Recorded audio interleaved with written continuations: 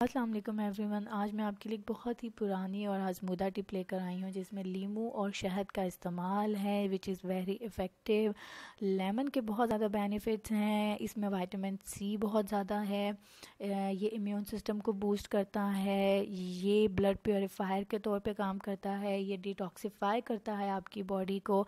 आपकी बॉडी में जितने टॉक्सीफाइंग मटीरियल हैं, ये उनको किक आउट करता है।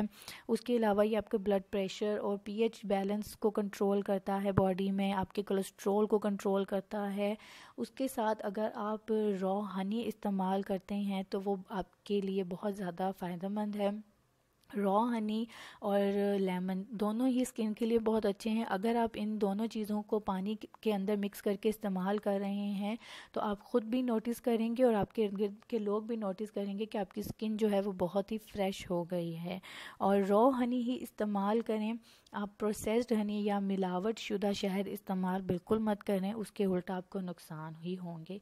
और इसके लिए इंपॉर्टेंट है कि आप ल्यूक वाटर लें एक गिलास उसमें एक चम्मच शहद और आधा लीमू का रस जो है डालकर उसको आप पी लें। और ये आप सुबह ने हारमोन कर सकते हैं, रात को सोने से पहले कर सकते हैं, या खाना खाने से आधा घंटा, एक घंटा पहले अगर आप ये पानी पीते हैं तो यकीन मानिए ये आपके लिए बहुत ज़्यादा बेनिफिट है।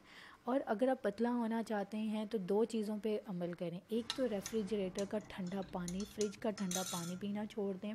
दूसरा, आप ल्यूक वाम वाटर पिए जितना ज़्यादा पी सकते हैं।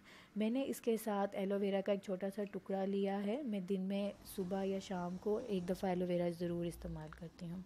सो कीप वॉचिंग अल्लाह हाफिज़।